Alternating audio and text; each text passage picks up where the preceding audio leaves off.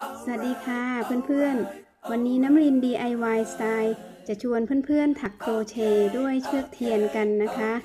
อันนี้เราจะเริ่มหัดถักกันตั้งแต่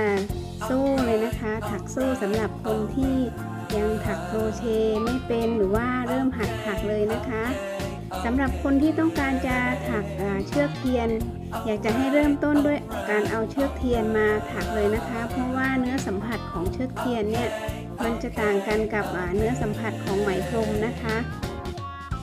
เรามาเริ่มต้นกันเลยนะคะ ว่าวัสดุของเรามีอะไรบ้างนะคะ ก็จะมีโครเชต์นี่เลยค่ะ อันนี้จะใช้โครเชต์เบอร์4นะคะ เบอร์ 4 ขนาดหัวของโครเชต์ก็คือ 1.25มิลนะคะนี่ค่ะจะเป็นเข็มขนาดนี้มันจะพอดีกับเชือกนะคะ เวลาเราถักไปช่องมันก็จะดูไม่กว้างเกินไปไม่หลวม แล้วก็ไม่แน่นเกินไปนะคะถักกำลังพอดีค่ะ ส่วนเชือกนะคะเราจะใช้เชือกเทียนเบอร์สองนะคะ เป็นเส้นที่ใหญ่ขึ้นมานิดนึงเชือกเทียนนี่จะมีเบอร์สามนะคะ จะเล็กกว่านี้อีกค่ะ อันนี้จะใช้เบอร์สองนะคะ ก็จะมีกรรไกรนะคะ เอาไว้ตัดค่ะ จะมีไฟแช็กนะคะ ไฟแช็กนี้เราเอาไว้จุดเก็บรายละเอียดช่วงปลายนะคะ เพราะว่าเชือกเทียนเนี่ยเขาจะเป็นเชือกที่มีความลื่นความมันค่ะ เราจะมัดแล้วมันจะไม่อยู่นะคะ เราต้องใช้ไฟแช็กนะคะ เป็นตัวที่จะจุดเก็บให้เรียบร้อยนะคะ เดี๋ยวเรามาเริ่มลงมือกันเลยนะคะ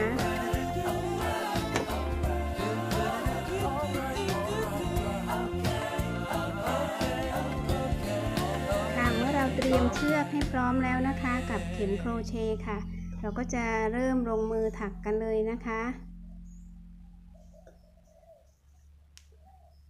ม้วนเชือกนะคะ ใส่กับมือ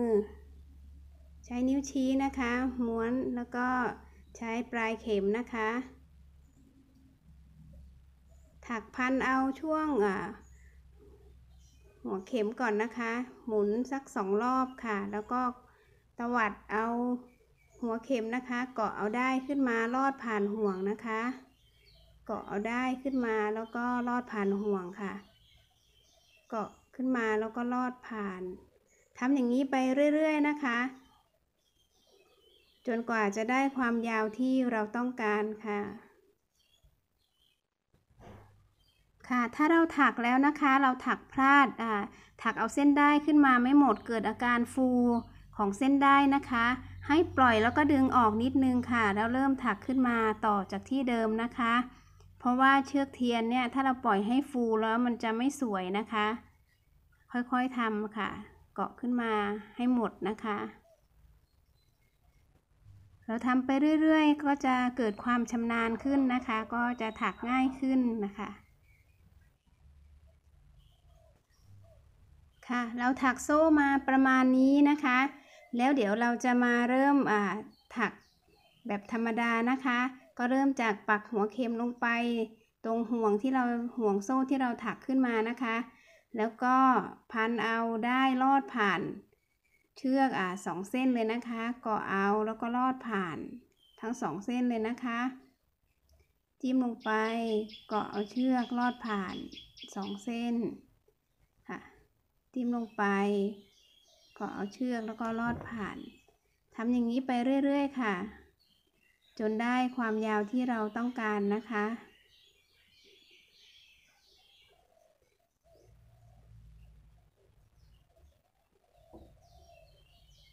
อย่าลืมนะคะลอดผ่านทั้งสองเส้นคู่ทีเดียวเลยนะคะ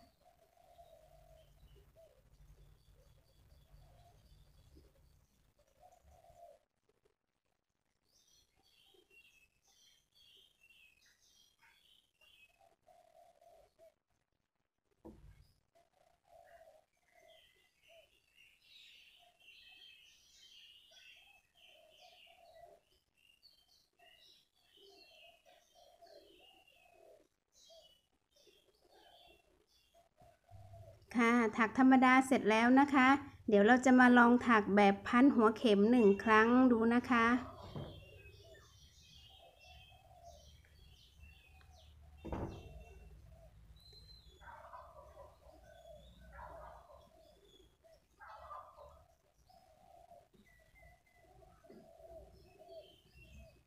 ค่ะ เดี๋ยวเราจะมาเริ่มถักแบบพันหัวเข็มหนึ่งครั้งค่ะ อันนี้เรากลับด้านนะคะ กลับด้านมาลองหัดถักพันหัวเข็มดูนะคะ ก็เริ่มจากตั้งหลักโซ่ขึ้นมาหนึ่งก่อน พันหัวเข็มหนึ่งครั้งปักลงไป ตวัดเอาเชือกขึ้นมานะคะ แล้วก็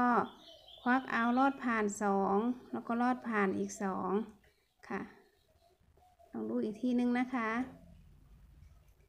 พันเอาได้ปักลงไปก็เอาเชือกลอดผ่านลอดทีละคู่เลยนะคะ ค่ะถักไปเรื่อย ๆ นะคะ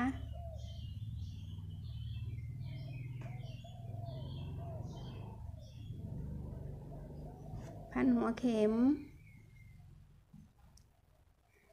จิ้มลงไป ควักเอาได้ขึ้นมา ลอดสอง แล้วก็ลอดผ่านสองค่ะ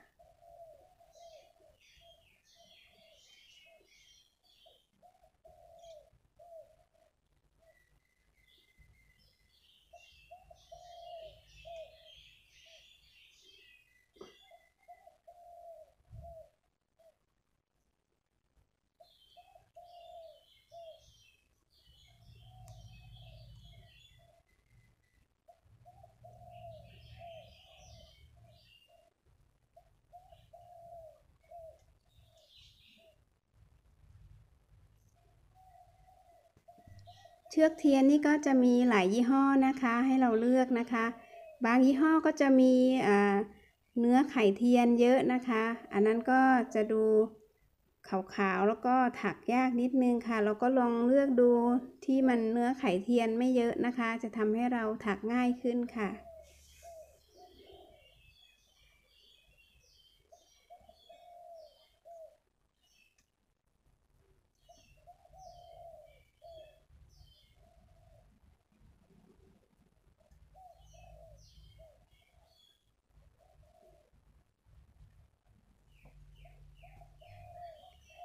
เสร็จแล้วนะคะสำหรับถักแบบธรรมดาแล้วก็ถักแบบพันหัวเข็มหนึ่งครั้งนะคะ ถ้ายังไงเพื่อนๆก็เอาไปลองทำดูนะคะสำหรับคนที่เพิ่งเริ่มต้นค่ะ อย่าลืมกดไลค์กดแชร์ ติดตามช่องน้ำลิน DIY Style เป็นกำลังใจให้ด้วยนะคะ ขอบคุณค่ะ